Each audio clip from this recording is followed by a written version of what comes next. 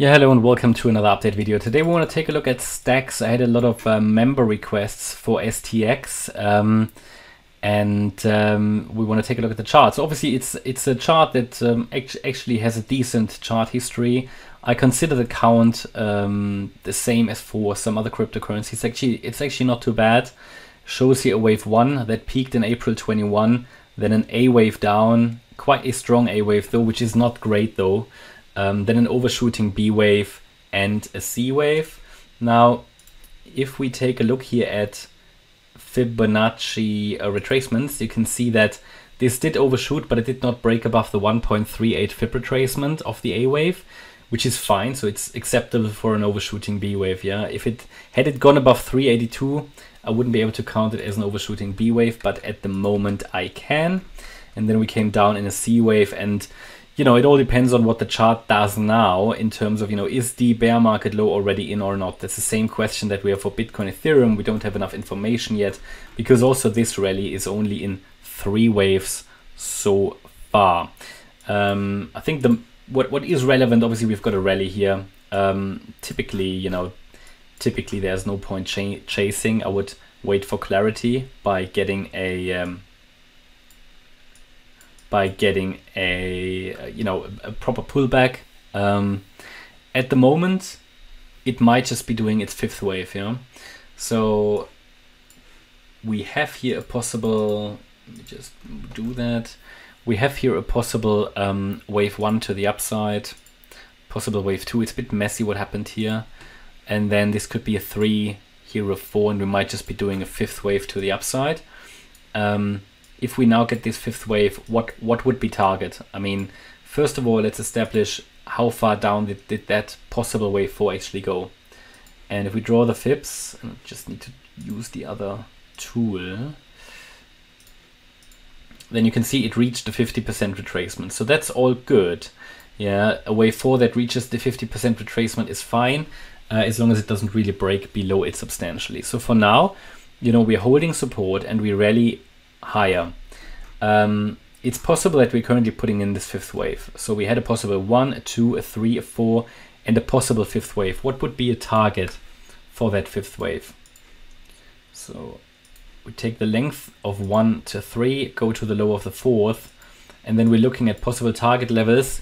Next one is actually 95.5 cents. That would be an ideal target here for the third wave, 95.5, when we might actually get there. Um, it's putting in something that you could consider here an ending diagonal. It's typically a pattern of exhaustion. Um, but um, at the moment it doesn't make any, it doesn't give us any sign that it has stopped yet. So 95.5 cents. If it extends 120 uh, is possible as well. Uh, that would be the next target if it breaks above 95.5. Um, if we add the VRVP, just to sort of look at historical volume, you can see that there is basically an insufficiency of historical volume. That's probably why it rallied so much.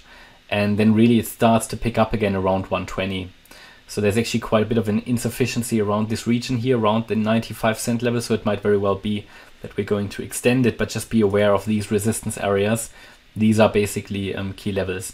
Now it's not the most reliable count because what I want to see normally first is a complete five wave move and then a three wave move down to indicate that the trend has indeed shifted back to the upside. Because what you need by per, as per Elliott wave, you need the five waves up as a wave one, and then in a wave two, the pullback is normally giving you the the truth. You know, the uh, it's going to filter. Is it just a, like a bear rally and it's going to make a new low, or do we actually hold wave two support? So as soon as I can see that this fifth wave of the first is finished, I can give you a possible um, yeah, a, a possible pullback area for finding support. This will typically take quite long as well because this rally started in January or end of December. So also here, this will probably take a couple of months to play out this wave two retracement. But for now, we are rallying. Um, but as you can see, it's getting quite messy up there. Um, so I, I would at the moment assume that we came down here in a in a wave 4, yeah, and we're now rallying in the fifth wave.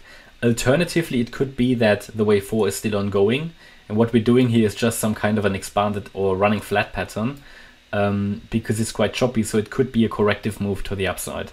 That's sometimes what happens in a fourth wave. Yeah, um, but there's probably at the moment not really a, you know a way to know that for sure. So um, we need to keep options open here. But in both scenarios, we can probably still climb a little higher. Um, but I don't see a clear setup at this stage. Yeah, so there's no clear setup. clear setup will appear after wave five has topped. Um, so let's let's see. I gave you target for the fifth wave.